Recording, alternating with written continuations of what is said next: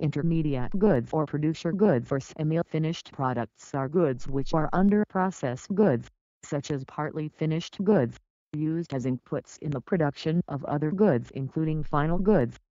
One a firm may make and then use intermediate goods, or make and then sell, or buy then use them.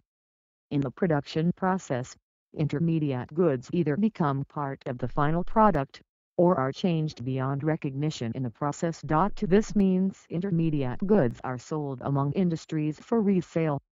Intermediate goods are not counted in a country's GDP, as that would mean double counting, as the final product only should be counted, and the value of the intermediate good is included in the value of the final good. 3. U.S. and Chinese trade in goods with ASEAN countries by use 2014 If intermediate goods are included in GDP, these goods will be counted in the calculation of GDP, which leads to the imprecise result.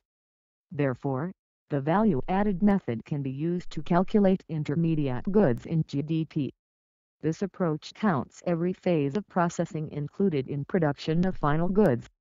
Characterization of intermediate goods as physical goods can be misleading, since, in advanced economies, about half of the value of intermediate inputs consist of services. 4. Intermediate goods generally can be used in three different ways. The first way, a company makes and uses its own intermediate goods.